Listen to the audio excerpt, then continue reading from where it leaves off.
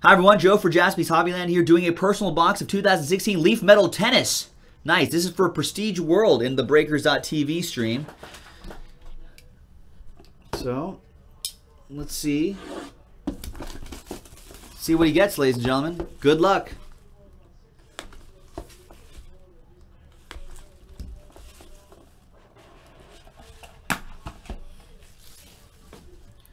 All right, Curtis, a legit tennis fan, so he, he's actually pretty interested in what could possibly be pulled out of here. All right, man, here you go. Here are your cards.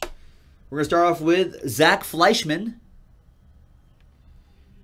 All right. Hey, 28-year-old native of Santa Monica. Maybe Zack Fleishman's just hanging around where my neck of the woods. Turned pro in 2000. Gotcha.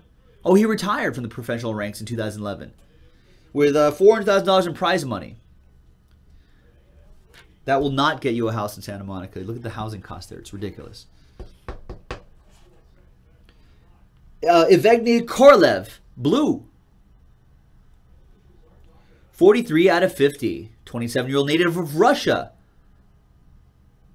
Wow, 72 and 93 with a losing record, $1.4 million in prize money just to play tennis. That sounds like that sounds delightful. I like tennis. I like playing tennis. It's enjoyable. I'll do that. Alyaz Badin. I don't know if that's correct. I probably butchered that. Native of Slovenia, resident of the UK. Currently ranked 51st in the world. Fair enough. All right, couple more to go.